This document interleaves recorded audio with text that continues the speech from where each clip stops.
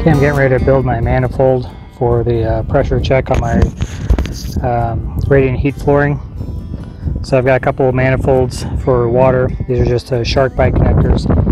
Um, it was actually cheaper for me to buy the SharkBite connectors than to buy the tools to actually crimp everything on. And then plus I can take these off and reuse them. So I'll be reusing these manifolds inside the house. Um, it's got a garden hose, pressure gauge. Um, this will be to air it up. And I've got five runs. So you can see I've got four or five. What I can do with one of those runs is just route it back into here. And then the other sides of those runs will just be um, uh, blocked off. That's have plugs in them. So I'm going to go ahead and assemble this and then um, hook it up.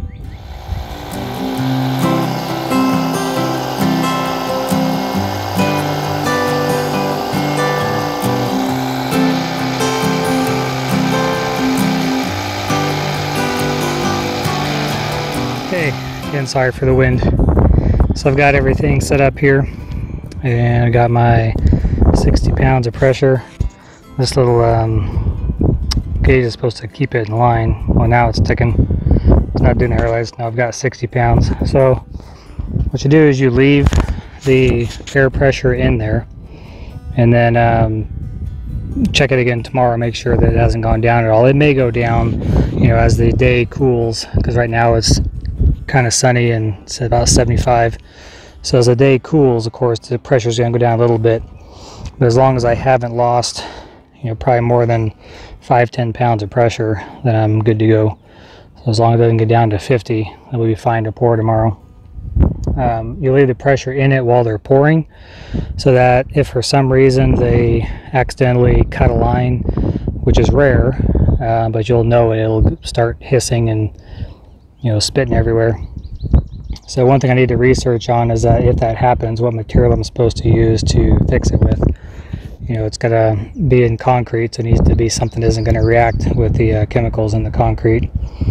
Um, so I'll figure that out today and go buy me a couple couplings just in case we have a blowout. Um, doubt that will happen, but it's always good to be prepared. So on SharkBites, bites when I was doing this, people said, you can't use SharkBites, they're made for water. Well, SharkBites seal up to 200 psi, and um, doesn't seem to matter what you have in them. So, of course, I've got 60 pounds in there and it's holding strong. I will check back later and make sure everything's okay. The one thing I probably should have done, I'm wishing I did now, was I put all my 90s with the extension part facing up.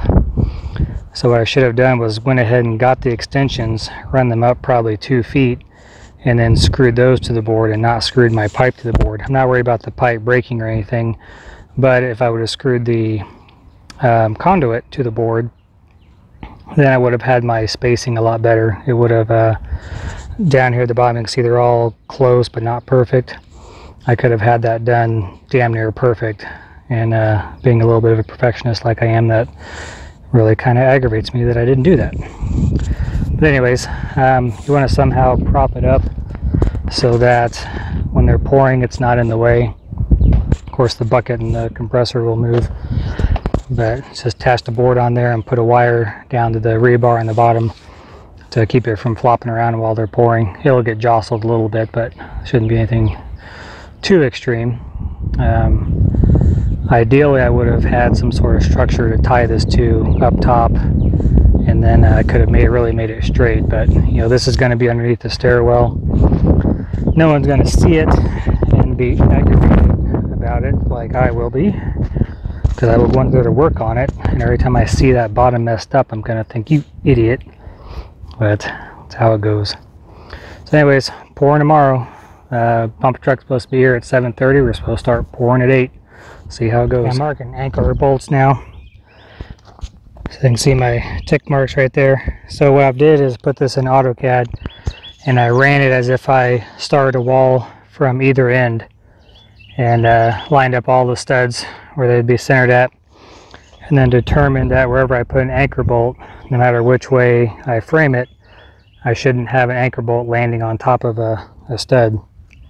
Uh, back when I used to do construction a long time ago, um, I didn't do a whole lot, but on, on some of the slab work that we did, where we had a, uh, you know, someone just walked around and basically just stuck anchor bolts and just shoved them in every couple feet. Problem with that is that you end up a lot of times having to knock an anchor bolt out or move a stud over it's a real pain. So I'm trying to avoid that by doing this. We'll see if it works. It's kind of an experiment.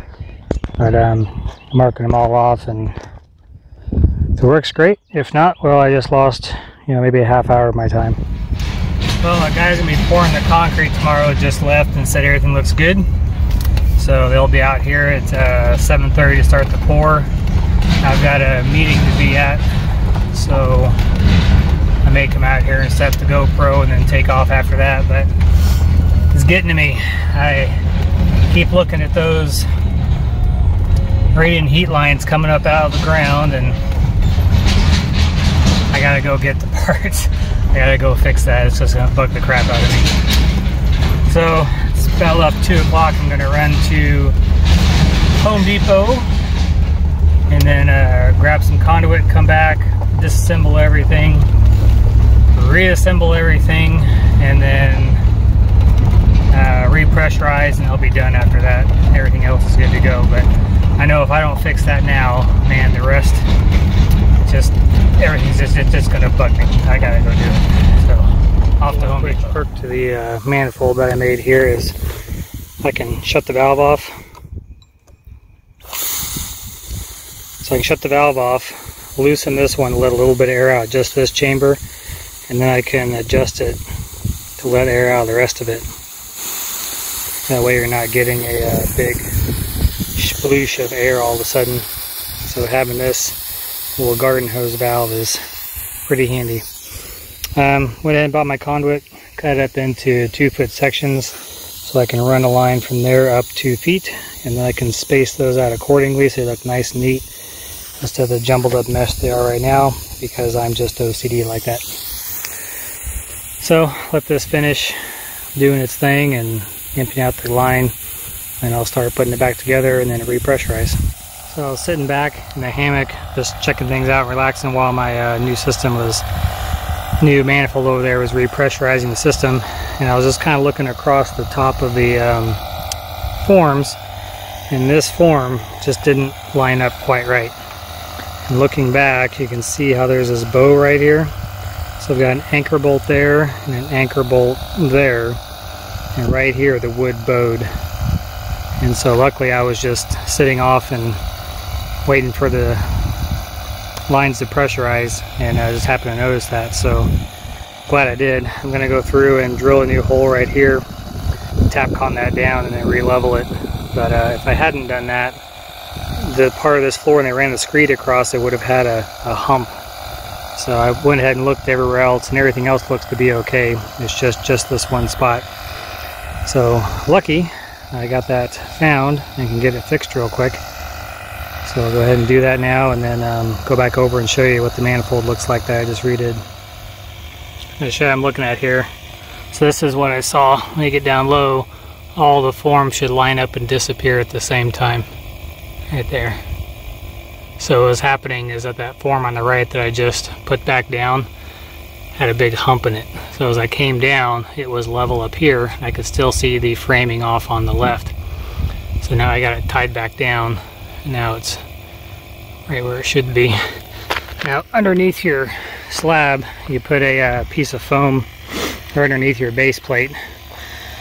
And that foam will help take care of any uh, minor imperfections. So the slab's not going to be perfect. It's going to have a little bit of up and down here and there. So putting that foam under it will keep, um, it's called a bug guard or bug screen, I guess, and it, it uh, squishes into the gaps that uh, are left when your um, slab isn't perfectly straight. So should still be fine. But glad I caught that. Looked at everything else and See here as you come down, all the spears at the same time. Right there. So we know we're level. Um, not only that, but I put a laser to everything a couple, or was a couple weeks ago, whenever it was, two weeks, week ago? I don't know when the hell, I don't know what day it is. Anyways, put a laser on it and lined it up that way. But this is treated lumber, and of course treated lumber likes to bow and bend. And uh, so far that's the only board right there that I saw that had done that. But glad I caught it, because in less than, well, probably about 16 hours I guess they're going to be pouring this, so good to go. Okay, now I can sleep tonight. I redid the manifold. Looks wonderful. So before it was all just kind of a sloppy mess. But now I've got everything labeled. It's all attached to board so it's all even with each other. Um, some of the piece at the bottom could probably come up a little bit or down a little bit, but can't be, I'm picky about not that picky. Anyways, back up to 60 pounds. Everything's looking good. Just gotta leave it here for the uh, night. Come back in the morning. Ooh, hello bee. Um, come back in the morning, set up the uh, GoPro about 7 o'clock or so, wait for the, the, construction guys to get here and then I'll take off. Of course the board in the back's crooked, that's going to come off once everything's done. It'll be attached to the wall and be straight. But I'm much happier with the way this has turned out versus the way it was before. It was just a mess. And perk that it's now self-supporting. So I had a wire on it before and it was still kind of flopping around, but now sucker's not going anywhere. So when they pour, it should be nice and good. Also, I had a bunch of zip ties trying to keep all these together down below. And um, that happened to be right at the level where the concrete was going to be finished at. So that obviously was not a good thing. So, it's all good hopefully tomorrow I'll show you a video of it, of the pour being done, looking beautiful. That would be fantastic.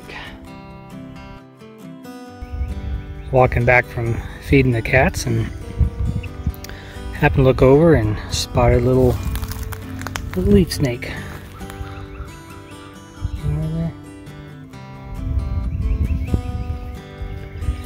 See these guys very often. Of course, they blend in really well I even saw him. But just hanging out.